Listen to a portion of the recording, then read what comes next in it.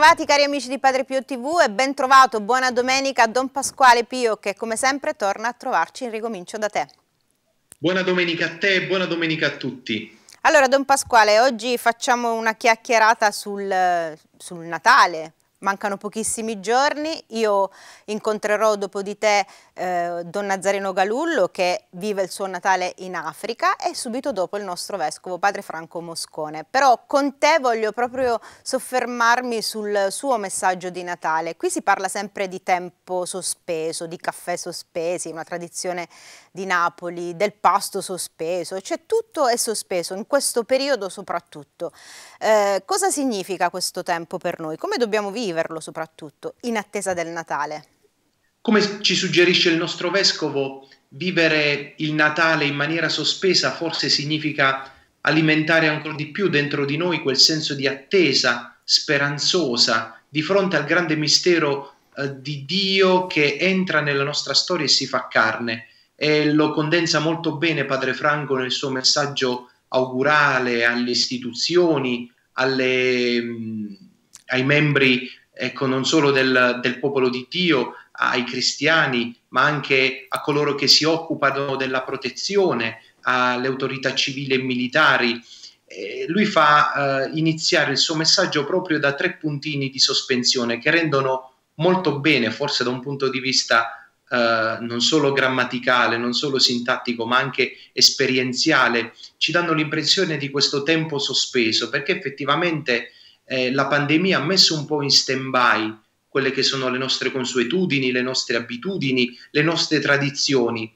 È vero, ha fatto tutto questo il Covid-19, però ci ha dato un nuovo senso di responsabilità e la nostra responsabilità va messa in campo non solo nel porre freno ai moti di questa epidemia, ma soprattutto nell'iniettare nelle vene della storia, riprendendo un'immagine famosa di Don Tonino Bello un po' di fiducia nel futuro, un po' di speranza, che è questa virtù fondamentale per noi cristiani che oggi sembra essersi un po' persa.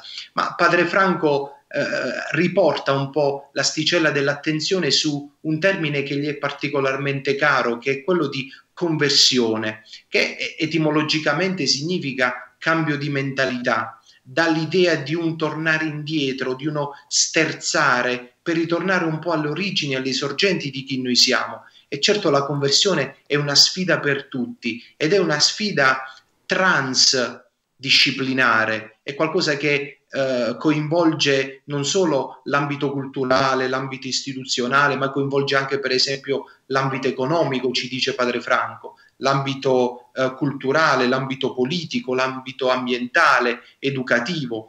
Tutti i settori della società sono co- coinvolti in questo dinamismo profondo di rinnovamento. E forse questo tempo che ci sta davanti e non solo come eh, tempo liturgico in preparazione al Natale, ma anche come tempo civile di preparazione all'anno nuovo, può essere una buona occasione per ehm, tornare a chiederci chi siamo, tornare a riflettere sulla nostra identità certamente cambiata dopo questo periodo un po' turbolento e brutto che abbiamo vissuto, ma eh, accompagnato sempre dalla presenza misteriosa di Dio.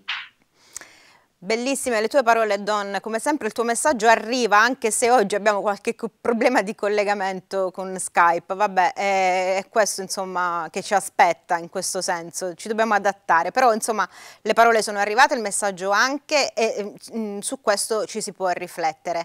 Ovviamente questo tempo del coronavirus che stiamo vivendo, che di regale ha soltanto il nome, effettivamente eh, Corona. Ci ha fatto anche capire che siamo tutti uguali, lo abbiamo più volte sottolineato, senza distinzione tra ricchi e poveri, giovani e anziani, nessuno è immune.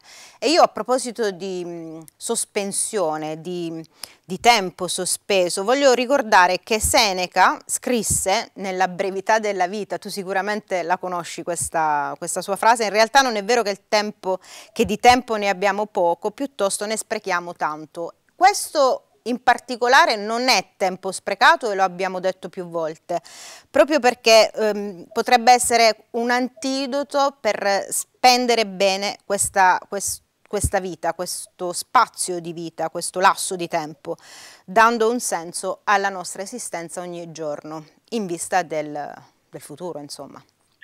Anche Papa Francesco ce lo ricorda perché c'è uh, una grave possibilità di fronte a noi, che è quella di sprecare l'occasione per crescere e per migliorare, che nonostante tutto questa pandemia ci dà. Ecco, è, è una scelta di responsabilità come cristiani, come credenti che dobbiamo fare, quella di cercare di vedere in, questa, in questo frangente storico particolarmente terribile un po' per tutti l'occasione eh, che eh, ci fa sentire privilegiati interlocutori di Dio che ci chiama a rinnovarci. Ecco, anche Sant'Ambrogio eh, lo diceva, non esistono tempi difficili.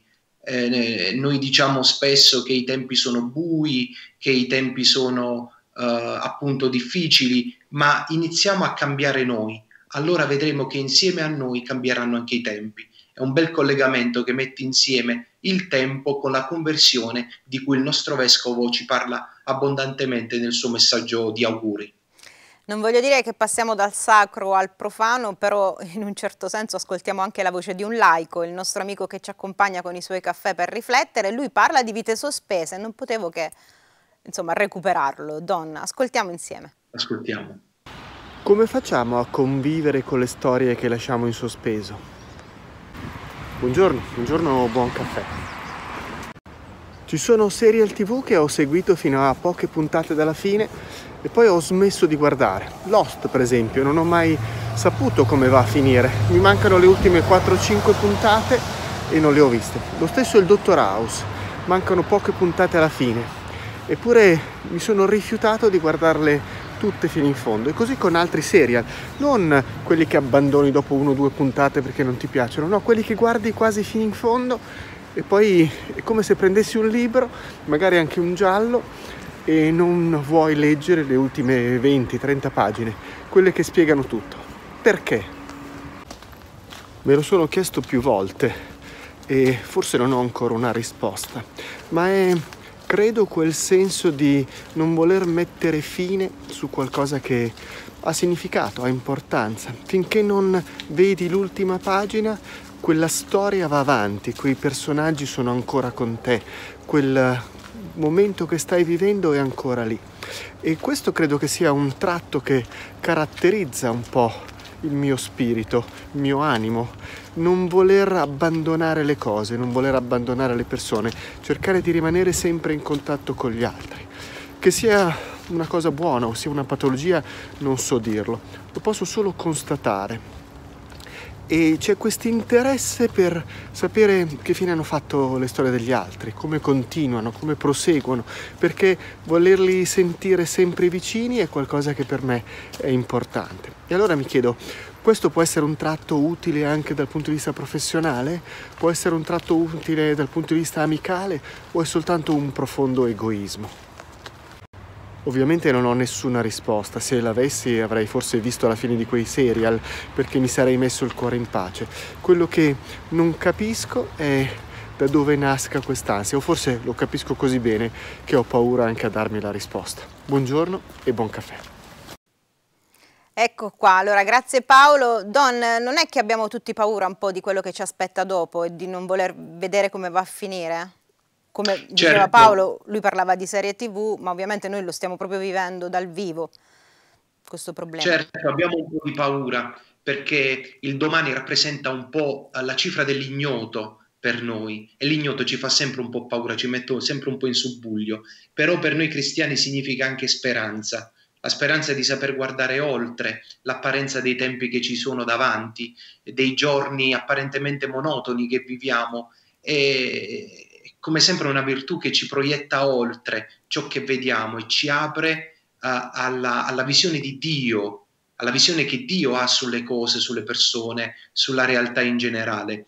Noi abbiamo la speranza certa che Dio guida la storia e siccome Dio guida la storia noi ci fidiamo di Lui, siamo veramente figli nelle braccia del Padre che eh, ci conduce verso un porto sospirato, che è salvezza per noi ed è gioia per tutti. Grande. Grazie Don Pasquale, siamo felici di averti avuto anche oggi qui. Ultima domenica di avvento, qualche giorno ancora e siamo a Natale. A che Natale. sia anche quest'anno Natale, come dice Padre Franco, è vero Don? Lo sarà, lo sarà. Allora, tanti auguri di cuore a te, grazie di tutto e ci ritroviamo la settimana prossima. Grazie sempre. a te e buon Natale a tutti. Ci vediamo senz'altro settimana prossima. Sì, eh, se non mi perdo in Africa, perché tra poco vado in Africa per il Natale. No, no, no, non c'è bisogno. ciao, aspettate voi. Ciao, ciao Don. Ciao.